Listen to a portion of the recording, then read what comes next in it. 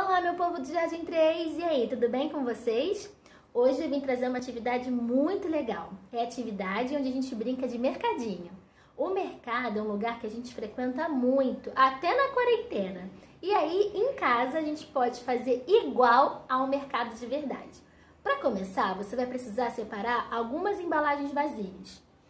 Eu peguei embalagem de amaciantes, de passar roupa,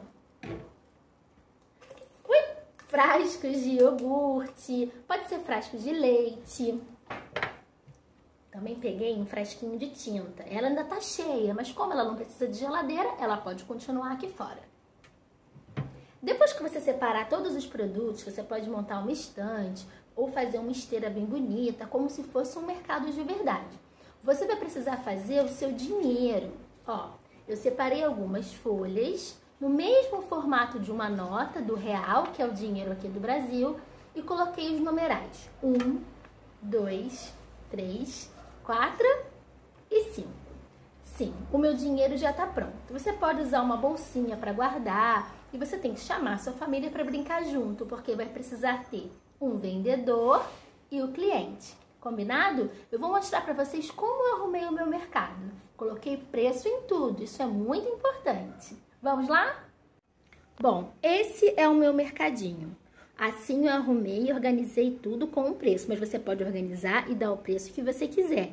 Lembrando que o seu preço precisa ser muito parecido com o seu dinheiro, bom? Então o leite custa 5, o líquido para passar roupa custa 4, o iogurte custa 1, o produto para tirar mancha da roupa custa 2, a tinta custa 3 e a geleia custa 2. Agora a gente vai precisar comprar os produtos. Eu vou vir com uma nota de 5 reais. O que, que eu consigo comprar aqui?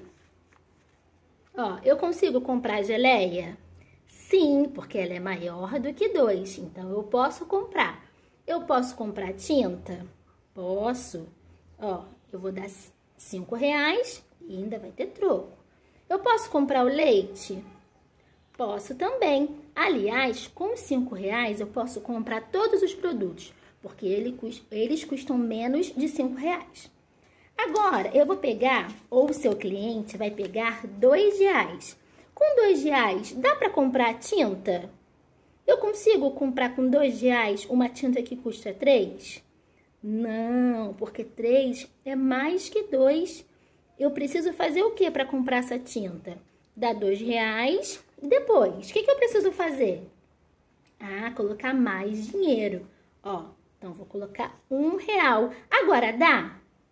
Agora dá. Eu tenho dois mais um, que dá três, e três reais eu compro a minha tinta. Então, vocês vão pegar, vão colocar numa bolsinha de mercado e vão fingir que vai levar para casinha de vocês. Essa brincadeira não tem fim. Vocês podem botar outros produtos, outros preços e muito mais nota, tá bom? Já fiz as minhas compras, comprei todos esses produtos e agora para levar para minha casinha de mentirinha, eu vou colocar numa eco bag, porque sacola de plástico não faz muito bem pro planeta, né? Essa sacolinha aqui não suja o meio ambiente. Então vou colocar as minhas compras, comprei com meu dinheirinho no mercadinho e vou para minha casa. Eu espero que vocês tenham gostado e até a próxima. Beijo!